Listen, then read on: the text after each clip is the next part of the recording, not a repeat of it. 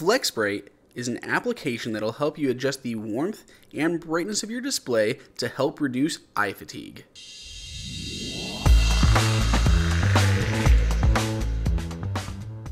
Welcome everyone, it is Andrew here from iDownloadBlog. Today we're going to take a look at FlexBright.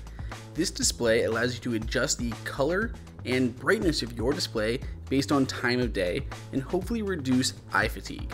This essentially is a precursor to the night shift feature coming out in iOS 9.3.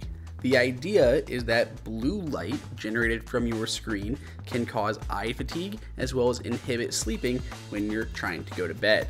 So things like Night Shift in iOS 9.3 or third-party applications like FlexBright or even for a little while Flux was available for iPhone if you kind of added it yourself through Xcode before Apple asked them to stop. FlexBright has been available a little while in the App Store, but they've added some new features in their latest update. As far as base goes, it gives you a notification multiple times a day in the morning or afternoon to turn down the brightness or turn up the brightness based on whether or not it is during the day or at night and the recent update allows you to change the amount of blue light or the warmth or coolness of your display. So during the daytime it'll be a little bit more cooler and then during the evening you can make it a little bit more warmer so you have less blue light which should help you sleep better. They also have a new dark mode that basically makes everything really dark that is good for at night. Unfortunately, unlike Night Shift in iOS 9.3, this will not be enabled or disabled automatically. It just gives you a notification, and when you open the app, then it'll launch that screen brightness for you.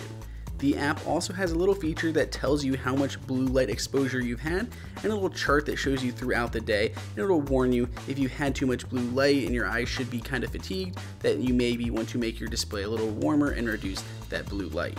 If you have not seen Night Shift, it is simply a feature that's been added to the notification center that'll change the display to be warmer or cooler based around the sunrise or sunset. And we'll have a full run up of that when iOS 9.3 is finally released. This also includes 3D touch features, so you can 3D touch on an icon and jump to any of your presets for during the day or at night to quickly change your brightness to how exactly you like it. FlexBright is available for $2.99 in the App Store, so if you'd like, you can go pick it up from the link in the description below. Otherwise, let us know what you think of FlexBright, and please subscribe if you found this video helpful. And until next time, this has been Andrew for iDownloadBlog.